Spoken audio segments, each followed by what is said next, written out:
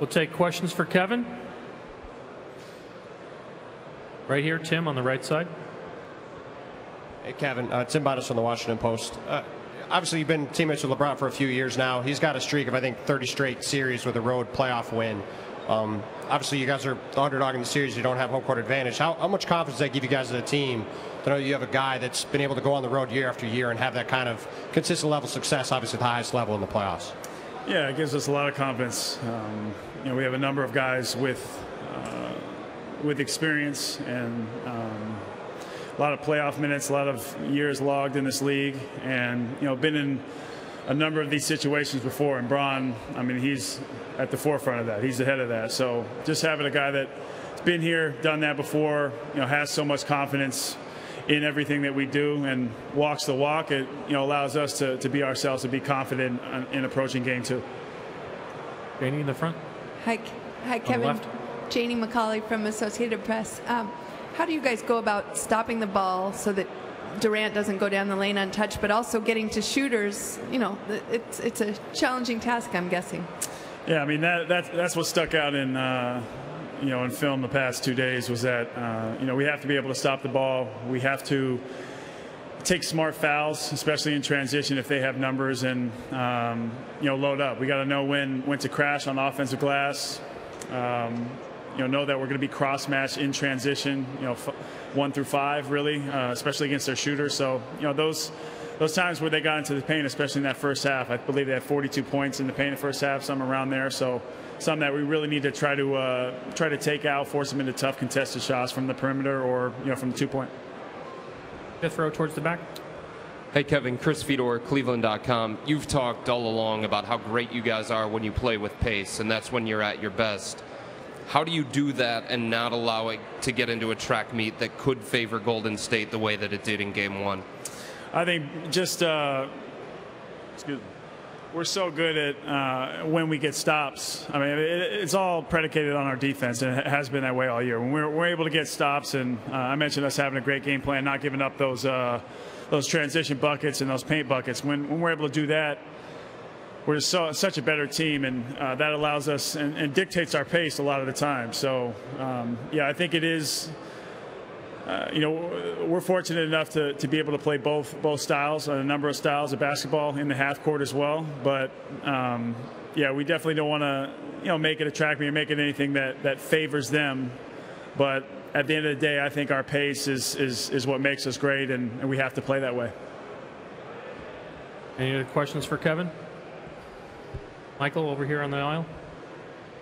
Kevin, uh, on the roster, you have guys like Kyle uh, Deron Williams, people who weren't through this a year ago, been in the league a long time without getting the chance. What dynamic have they brought, not just as players, but you know that that trying to get that ring 13 years into the league? What, what's it been meant to your team and your locker room?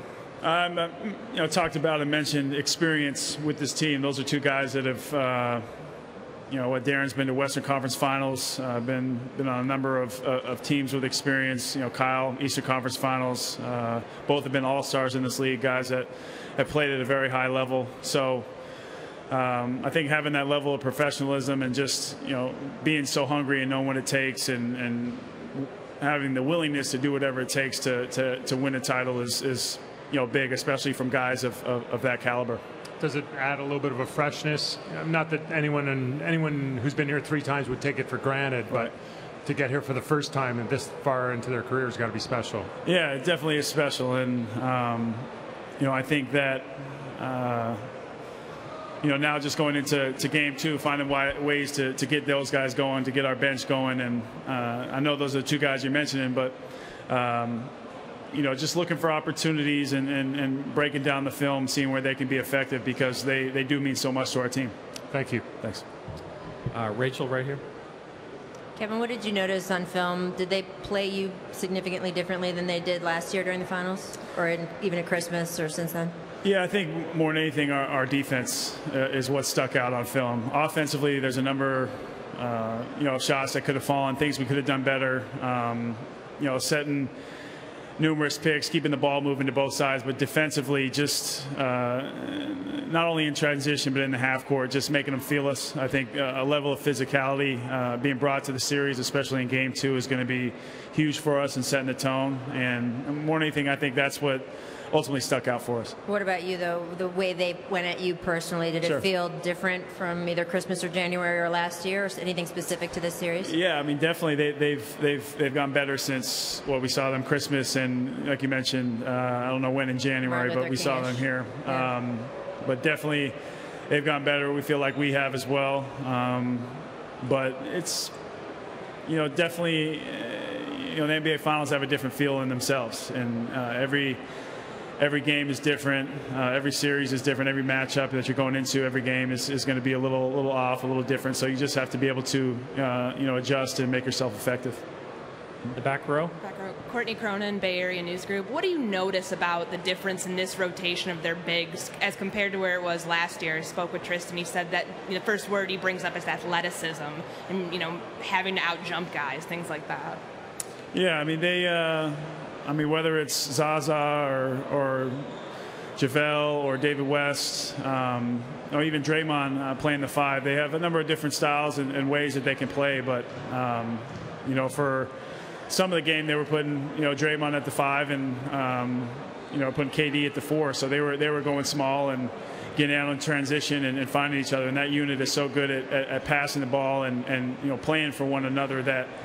Uh, I mentioned the cross matching in, in, in, in transition and defensively in the half court as well. Just being able to, to, to guard at all five positions at us is going to be really key, or for us. Any last question? Thanks, Kevin. Thanks. Kyrie will be in shortly.